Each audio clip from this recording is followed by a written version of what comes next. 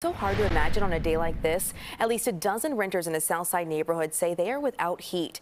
They say it's been like that for a month now, and with temperatures now in the single digits, they're so fed up. CBS 2's Asal Rezaei is in South Deering with more on this situation. Take a look at this trailer behind me. It says boiler specialists on it, and we're told the solution to the problem is inside a brand new boiler that is waiting to be installed through a third party. We know temperatures have dropped quite a bit in the last week, and renters here say they've been dealing with this for quite some time. When I called them, they told us that they were going to get on it. That's been since December. We're almost in February and still dealing with this issue.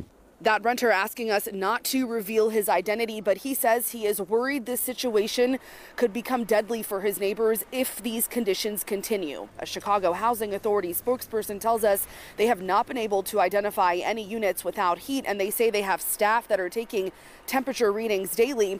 The Trumbull Park homes here are made up of two and three story buildings, over 400 of them, all built in 1938, managed by the Chicago Housing Authority. We've reported on multiple buildings this winter season managed by the Housing Authority, where many people claim to be warming up with their ovens as a last resort. People saying that while the heat may be working coming out of their vents, it is barely coming out enough to keep them warm. So it is very possible that is the case here at this complex. The front office here saying they have provided space heaters for each unit, but renters here say their heaters are only working for one room at a time. Many here frustrated saying this new boiler should have been installed immediately. We're still waiting on an update from maintenance staff as to when they plan to make that happen. Reporting in South Deering, Asal Rezaei, CBS 2 News.